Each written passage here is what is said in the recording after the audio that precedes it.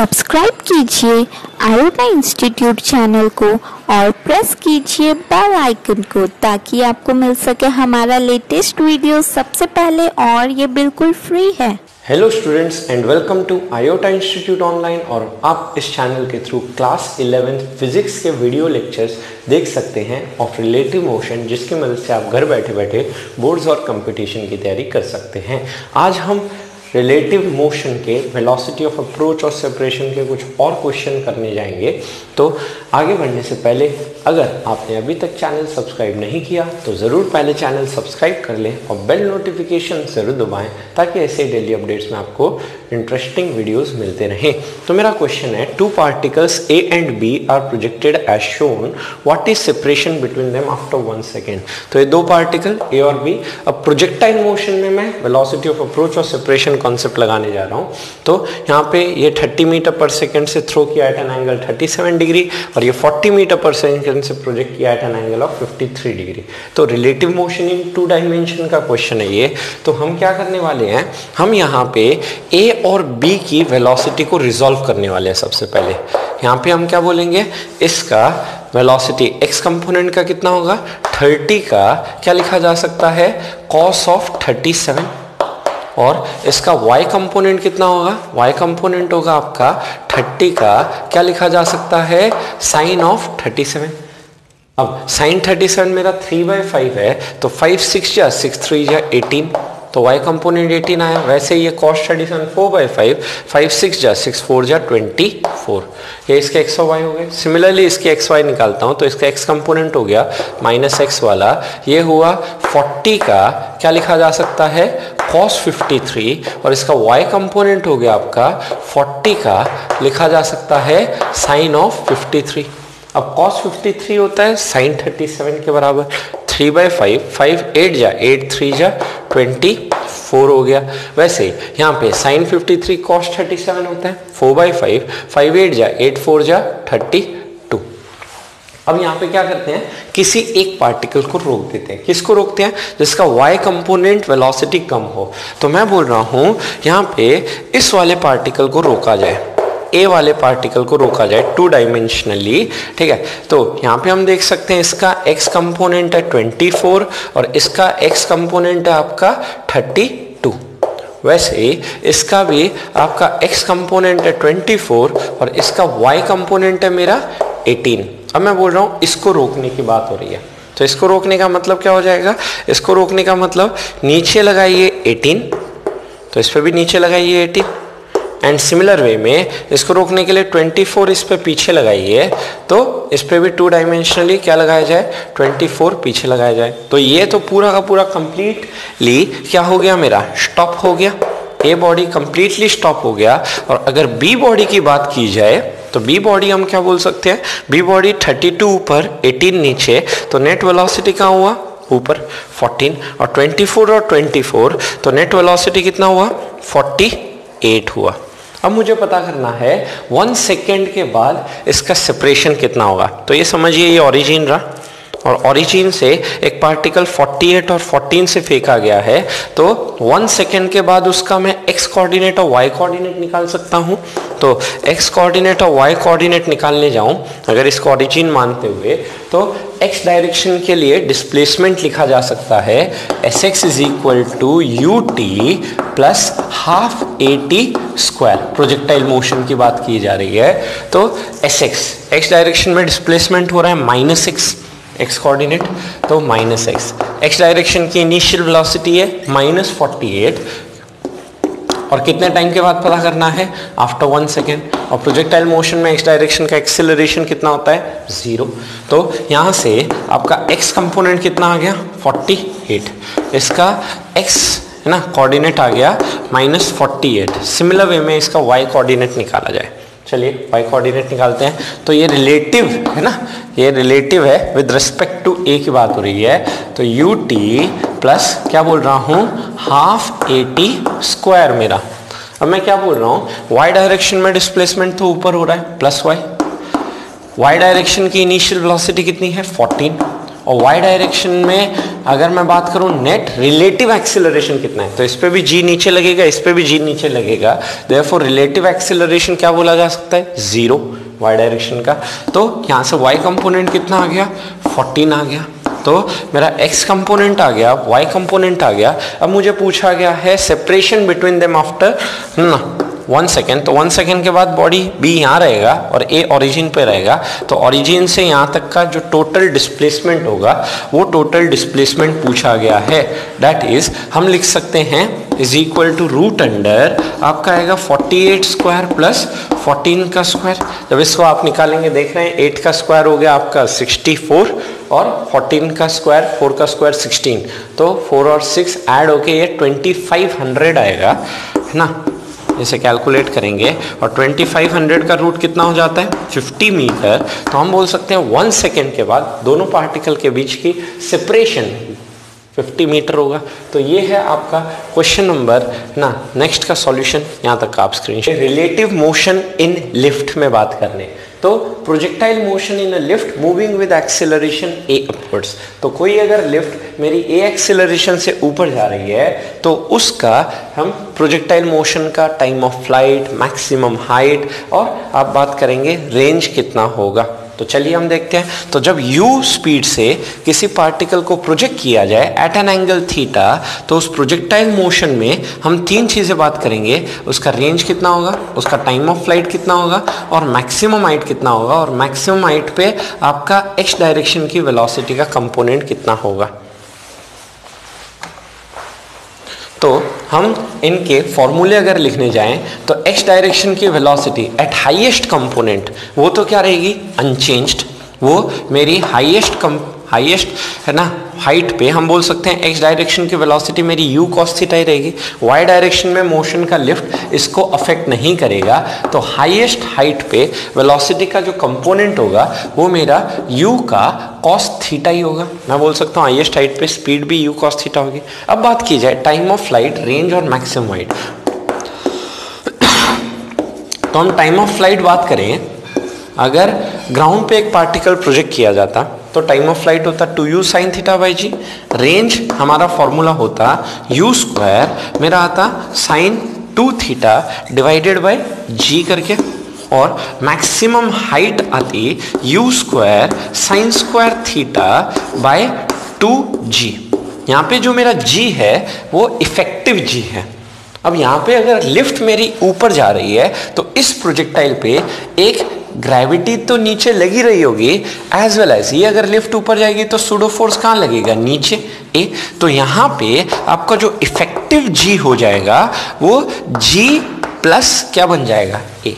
तो जहाँ पे भी हमारा जी दिख रहा है, वहाँ जी की जगह लगा दे जी प्लस ए जहाँ जी दिख रहा है, वहाँ लगा दे जी प्लस ए और जहाँ जी दिख रहा है, वहाँ लगा दे जी प्लस ए तो जब एक प्रोजेक्टाइल को आप थ्रो करते हैं एक लिफ्ट में तो उस प्रोजेक्टाइल का टाइम ऑफ़ फ़्लाइट और लेट से रेंज और मैक्सिमम हाइट अगर लिफ्ट ऊपर जा रही है तो सभी क्या हो जाएँगे? डिक्रीज कर जाएँगे, क्योंकि डिनोमिनेटर बढ़ रहा है। जबकि एक्स डायरेक्शन की वेलोसिटी का कंपोनेंट हाईएस्ट पॉइंट वो अनचेंज रहेगा।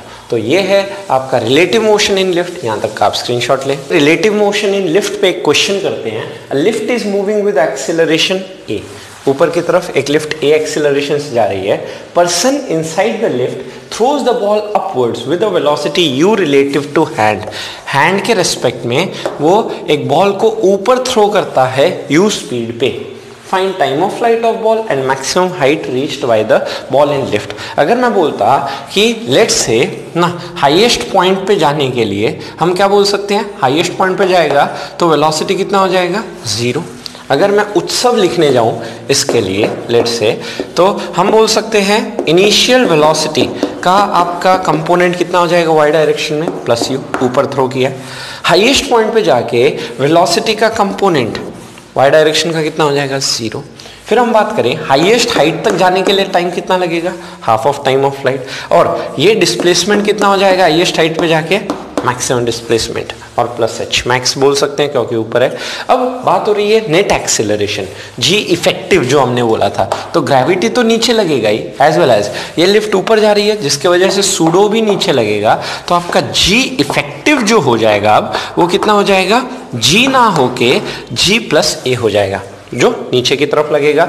तो यहाँ पे जी इफ़ेक्टिव की जगह लिख दिया जाए minus of g plus a अब इक्वेशन लिखते हैं। सबसे पहले हम क्या लिखने जा रहे हैं? V is equal to u plus a तो y डायरेक्शन के लिए v is equal to u plus a लिखता हूँ। तो हाईएस्ट पॉइंट पे velocity zero initial velocity u और एक्सिलरेशन हो गया minus of g plus a into time कितना होगा मेरा? T बाई टू तो यहाँ से मैं टाइम निकालूं। तो यहाँ से टाइम आया two u divided by g plus a तो ये तो आया टाइम ऑफ़ फ़्लाइट अब बात की जाए आपके मैक्सिमम हाइट की। तो मैक्सिमम हाइट के लिए क्या लिखा जा सकता है? मैक्सिमम हाइट के लिए लिख सकते हैं v square equal to u square plus two s चलिए तो v square is equal to मेरा है यू स्क्वायर प्लस क्या लिखने जा रहा हूँ? टू ए एस तो हाइएस्ट पॉइंट पे वेलोसिटी कितनी हो जा रही है? Zero initial velocity y component कितनी है? प्लस यू टू ए कितना है? ए है minus of g plus a तो ये माइनस हो गया जी प्लस ए और वाई डायरेक्शन का डिस्प्लेसमेंट कितना है? एच मैक्स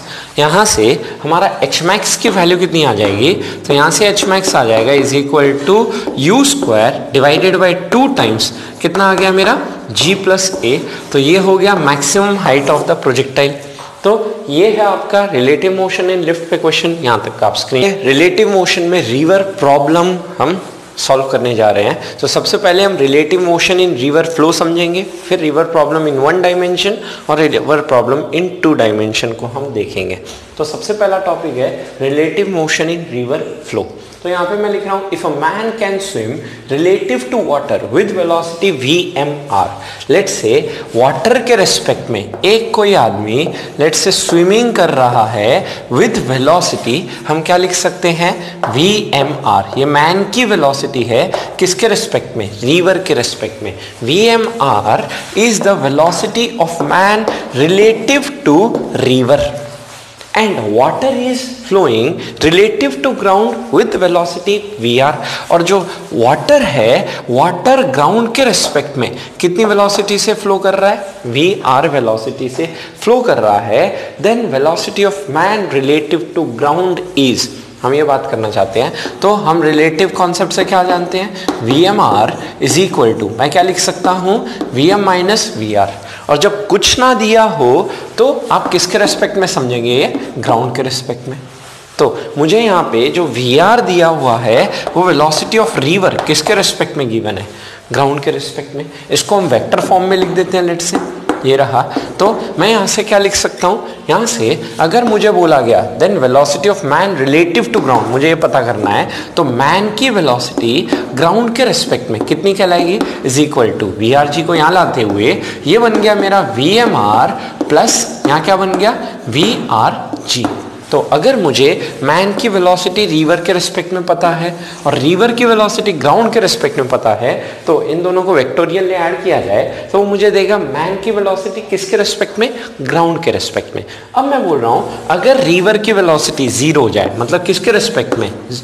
ग्राउंड के रिस्पेक्ट में। ये VR जो है, ये अपना अगर ज़ीरो हो जाए मतलब रिवर फ्लो नहीं कर रहा, जैसे एक स्विमिंग पूल समझिए तो उस केस में ये पार्ट आपका ज़ीरो हो गया। तो हम क्या लिख सकते हैं? यहाँ पे मैन की वेलोसिटी ग्राउंड के रिस्पेक्ट में इज़ इक्वल टू क्या हो जाएगा? मैन की वेलोसिटी रिवर के रिस्पेक्ट में। एक स्विमिंग पूल में अगर कोई आदमी स्विमिंग कर रहा है तो उसके अंदर स्विमिंग पूल के अंदर कोई ऑब्जर्वर अगर उसे देखता है तो उसको जो वेलोसिटी दिखाई देगी तो ग्राउंड में जो ऑब्जर्वर होगा, उसको भी उतनी ही वेलोसिटी दिखेगा। क्योंकि रिवर अभी मूव नहीं कर रही। तो हम बोल सकते हैं मैन की वेलोसिटी ग्राउंड के रिस्पेक्ट में ग्राउंड पे खड़ा होकर कोई ऑब्जर्वर अगर देखे, और रिवर में, है ना, कोई अगर आदमी बोट में बैठा है, वो उसको देखे, दोनों को क्या दिखाई देगा? मैन की वेलोसिटी सेम दिखाई देगी, क्योंकि रिवर अभी मूव नहीं कर रही।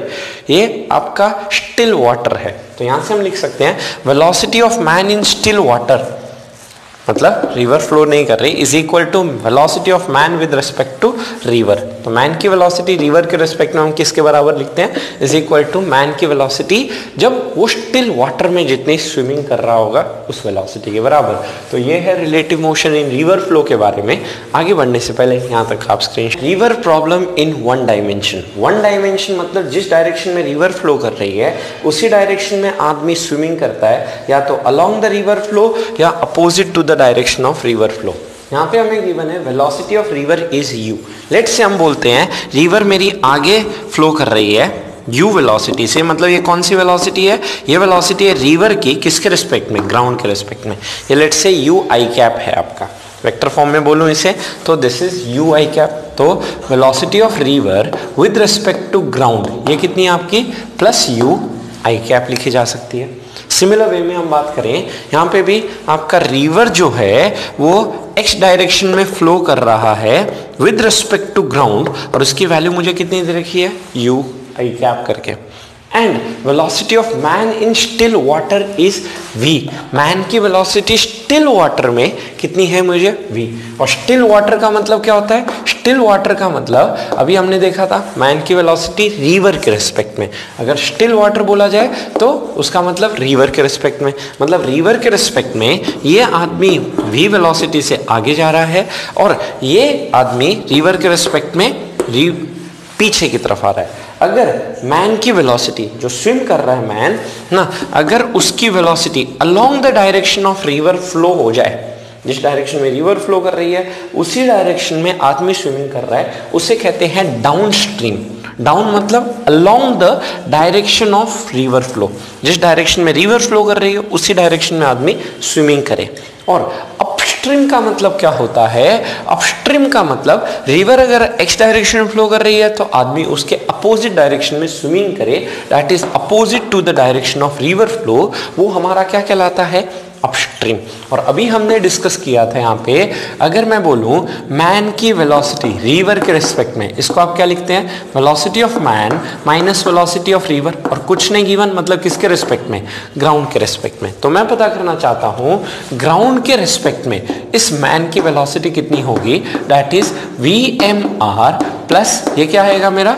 वी आर जी अब इसे वेक्टर फॉर्म में हम ये लिख दे रहे हैं और इसका यूज़ करते हैं। यहाँ पे अगर कोई ग्राउंड में खड़ा हुआ, कोई ऑब्जर्वर इसको देखता है लेट से इस आदमी को तो उसको इस आदमी की वेलोसिटी कितनी दिखाई देगी? वो हम पता करना चाहते हैं। Velocity of man with respect to an observer on the ground तो मैं यहाँ पे क्या बोल रहा हूँ? मैन की वेलोसिटी आपकी ग्राउंड के रिस्पेक्ट में, अगर हम पता करना चाहते हैं इज़ इक्वल टू मेरा है यहाँ पे v m r plus v r g अब v m r plus v r g अगर मैं बात करूँ v m r plus this is v r g तो हम क्या बोल सकते हैं? मैन की वेलोसिटी ग्राउंड के रिस्पेक्ट में मतलब ग्राउंड में खड़ा हुआ ऑब्जर्वर को इस आदमी की वेलोसिटी कितनी दिखाई देगी?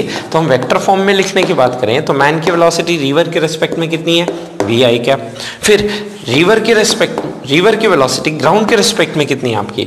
ये भी यू आई कैप तो यहाँ पे वेक्टर फॉर्म में रख दिया जाए मैन की वेलोसिटी रिवर के रिस्पेक्ट में इज़ वी आई कैप और फिर रिवर की वेलोसिटी ग्राउंड के रिस्पेक्ट में इज़ यू आई कैप तो हम बोल सकते हैं कि मैन की वेलोसिटी ग्राउंड के रिस्पेक्ट में कितनी हो जाएगी? V प्लस यू का आई कैप हम ऐसे भी बोल सकते हैं कि अगर रिवर 10 मीटर पर सेकंड से फ्लो कर रही है, आदमी 2 मीटर पर सेकंड से स्विमिंग कर रहा है स्टिल वाटर में तो हम बोल सकते हैं कि जो ग्राउंड में खड़ा हुआ दिखेगा, उसको क्या दिखेगा? इस आदमी की नेट वेलोसिटी क्योंकि दोनों सेम डायरेक्शन में है तो 10 प्लस 2 कितना हो गया? 12 मीटर पर सेकंड से मूव करता दिखेगा। नेक्स्ट आते हैं, जैसे इसमें अपस्ट्रीम की बात की जाए तो हम बोल सकते हैं कि लेट से मैन की वेलोसिटी रिवर के रिस्पेक्ट में कितनी है? वेक्टर फॉर्म में बोलूँ तो माइनस वी आई कैप ये पीछे की तरफ़ आ रहा है। और रिवर की वेलोसिटी ग्राउंड के रिस्पेक्ट में कितनी है? प्लस यू का, क्या लिख दिया? आई कैप और इसी चीज़ को यूज़ कर रहा हूँ मैन की वेलोसिटी ग्राउंड के रिस्पेक्ट में। ग्राउंड में खड़े हुए ऑब्जर्वर को इसकी नेट वेलोसिटी कितनी दिखाई देगी? जैसे ये 10 है, ये दो है। तो हम क्या बोलेंगे? यहाँ पे हम लिखेंगे मैन की velocity with respect to an observer on the ground is given as v m r plus यहाँ पे आएगा मेरा वी आर जी करते हुए. अब वी एम आर तो मेरा कितना है? माइनस वी है क्या पुट कीजिए। माइनस वी का आई कैप प्लस रिवर की वेलोसिटी ग्राउंड के रेस्पेक्ट में है प्लस यू का आई कैप तो यहाँ से मैं बोल सकता हूँ कि ग्राउंड में खड़ा हुआ कोई ऑब्जर्वर को इस मैन की वेलोसिटी कितनी दिखाई देगी? U माइनस वी का आई कैप अगर मैं बोल रहा हूँ, u अगर ज़्यादा है, जैसे ये 10 है और ये 2 है तो इस ग्राउंड में खड़े हुए ऑब्जर्वर को इसकी net velocity 8 meter per second से इस डायरेक्शन में फ्लो करता दिखेगा। आगे हम इस फॉर्मूले का यूज़ ना करके डायरेक्ट बोल सकते हैं 10 और 2 तो ये नेट 12 हो गया with respect to an observer on the ground और ये अगर 10 होगा, ये 2 होगा तो ग्राउंड में खड़ा हुआ ऑब्जर्वर को इसकी वेलोसिटी दिखाई देगी 8 मीटर पर सेकेंड तो ये है downstream of stream on river flow in one dimension तो आगे बढ़ने से पहले यहाँ तक आप स्क्रीनशॉट नेक्स्ट क्वेश्चन पे आते हैं river problem in one dimension पे based a swimmer capable of swimming with velocity v relative to water jumps in a flowing river having velocity u. Man swims a distance d downstream and returns back to original position.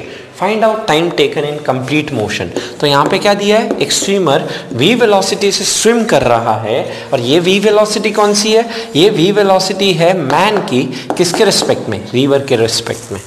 और यहाँ पे आपको given है river जो flow कर रही है, उसकी वेलोसिटी यू दी हुए तो यू रिवर की वेलोसिटी किसके रेस्पेक्ट में? ग्राउंड के रेस्पेक्ट में। मतलब ग्राउंड के रेस्पेक्ट में ये रिवर यू से फ्लो कर रही है। तो पहले बोला है man swims a distance d downstream पहले तो ये आदमी ए से बी पॉइंट जाता है at a distance d downstream downstream मतलब along the direction of river flow covering a distance d फिर जैसे ये इस बी पॉइंट पे पहुँचता है, फिर वापस से रिटर्न्स टू ओरिजिनल पोजीशन मतलब वापस से बी से ए आता है। तो रिवर तो मेरी आगे ही है है ना? मूव कर रही है रिवर फ्लो आगे कर रही है यू से। अब आदमी पीछे आ रहा है, किस वेलोसिटी से? वी वेलोसिटी से। तो यहाँ पे फिर से ये इस डिस्टेंस को कवर करेगा डी डिस्टेंस को। इस टोटल मोशन में कितना टाइम लगेगा? तो अगर मैं बोलूँ, यहाँ पे ग्राउंड के रिस्पेक्ट में इस मैन की वेलोसिटी अभी हमने देखा था वी से आगे और यू भी आगे है तो ग्राउंड के रिस्पेक्ट में इसकी वेलोसिटी कितनी हो जाएगी? V प्लस यू वैसे, इसकी भी वेलोसिटी ग्राउंड के रेस्पेक्ट में हम कितना लिख सकते हैं? अब, इसको अगर वापस यहाँ आना है मतलब v की वैल्यू ज़्यादा होनी चाहिए, तभी ये यहाँ स्विम कर पाएगा। जैसे 10 होगा, ये दो होगा तो ये एट मीटर पर सेकेंड से यहाँ पाएगा। दर फोर यहाँ पर हम बोल सकते हैं, यहाँ पे स्पीड होगी मेरी वी माइनस यू डायरेक्शन तो माइनस आई कैप होगा। अब डाउन स्ट्रीम जाने में ये आपका डाउन स्ट्रीम सिचुएशन है। डाउन स्ट्रीम जाने में टाइम कितना लगेगा? Time is equal to distance by speed और सारी स्पीड किसके रेस्पेक्ट में? ग्राउंड के रेस्पेक्ट में। Is equal to v plus u वैसे अपस्ट्रीम आने में कितना टाइम लगेगा? तो अपस्ट्रीम आने में डिस्टेंस डी हो गया और स्पीड हो गई मेरी वी माइनस यू तो टोटल टाइम हम बोले तो यहाँ पे टोटल टाइम मेरा कितना कहलाएगा? Total time is equal to upstream का टाइम प्लस क्या लिखा जा सकता है? डाउनस्ट्रीम का टाइम अब अपस्ट्रीम का टाइम मेरा कितना है? अपस्ट्रीम का टाइम है डी बाय क्या लिख रहा हूँ? वी माइनस यू वैसे डाउनस्ट्रीम का टाइम कितना है? तो डाउनस्ट्रीम का टाइम है d by v plus u LCM लिया जाए d v plus d u plus d v minus क्या लिख सकता हूँ? डी यू डिनोमिनेटर में a plus b a minus b है तो ये हो गया v square minus u square d u से डी यू कैंसिल हुआ, ऊपर आया two v d divided by denominator में बन जाता है मेरा v square minus u square तो इतना टाइम इसको लगेगा ना, पहले तो डाउनस्ट्रीम जाने में ए से बी फिर अपस्ट्रीम आने में बी से ए तो ये है आपका relative motion in river flow in one dimension पे बेस्ड क्वेश्चन यहाँ तक का आप स्क्रीनशॉट ले। तो स्टूडेंट आज हमने river flow in one dimension देखा और रिलेटिव मोशन इन लिफ्ट हमने डिस्कशन किया। होप आपको वीडियो पसंद आया। पसंद आया, ज़रूर से वीडियो लाइक करें और दोस्तों के साथ जितना हो सके शेयर करें। और अगर आपने अभी तक चैनल सब्सक्राइब नहीं किया तो ज़रूर चैनल सब्सक्राइब कर ले और बेल नोटिफिकेशन ज़रूर दबाएँ। आज के लिए इतना ही। कल मिलते हैं के साथ। सब्सक्राइब कीजिए आयोटा इंस्टीट्यूट चैनल को और प्रेस कीजिए बेल आइकन को ताकि आपको मिल सके हमारा लेटेस्ट वीडियो सबसे पहले और ये बिल्कुल फ्री है।